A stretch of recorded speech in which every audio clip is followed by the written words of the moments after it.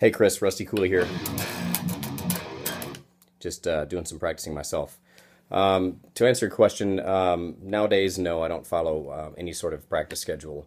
Um, I kind of base everything that I'm doing on um, what's going on at the moment. It's uh, it's become based on the things that uh, I have coming up. Do I have a do I have a gig coming up? Do I have a session coming up? Am I recording a, a guest solo for someone? Am I um, doing a DVD or, or whatever it might be? Um, so it's very driven and based on um, current events, just because at this point my life is very, very busy.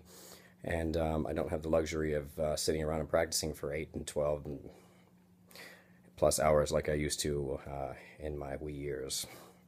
So um, to answer the question, it's all based on on what's going on. Um, as far as warming up, I simply um, start with things that are comfortable for me. No, nothing specific. I don't I don't ever practice any kind of uh, um, nonsensical exercise. Meaning I don't sit around and practice like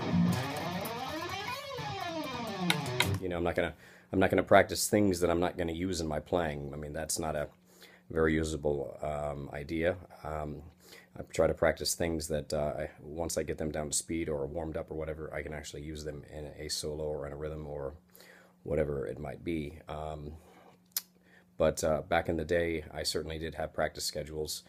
Uh, matter of fact, I've got, uh, I have them all from through the years. I can go back and dig out boxes of practice schedules from when I was in high school, um, dated. Um, and it's very important to have a good practice schedule and um, you know, but it's not good enough just to have a practice schedule. Um, I mean, you want to be setting goals and set goals, and your, and your practice schedule is what will actually allow you to attain your goals. So, I mean, it's not uh, enough to say, "Hey, I'm going to practice scales and arpeggios for you know X amount of minutes a day or whatever." Um, but uh, you know, find the things that you want to get better at and add those to your schedule. So certainly, technique is going to be a category you know, um, and depending on the level you're at at this particular moment, will depend on the things that you're actually practicing. So if you're an advanced player, you might be working on, you know, alternate picking and, uh, well, actually, you know, not, it, you don't even have to be advanced to be working on alternate picking. Alternate picking should just be part of um, the things you're working on in general. You know, alternate picking, hammer-ons and pull-offs,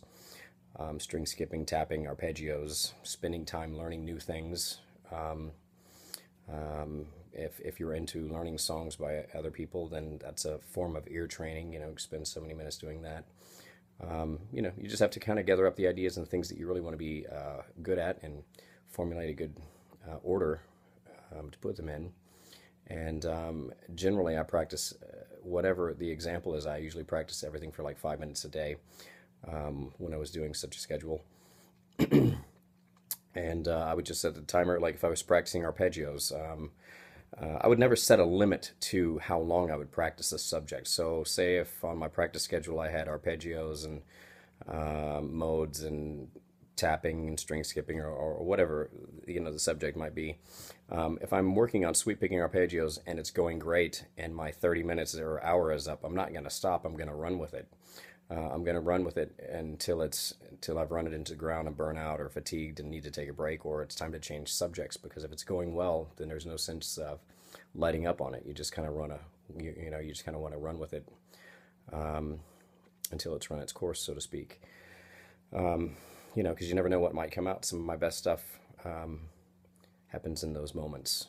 So um, anyway, there's some thoughts on practicing. Hope it was helpful, and uh, see you next time.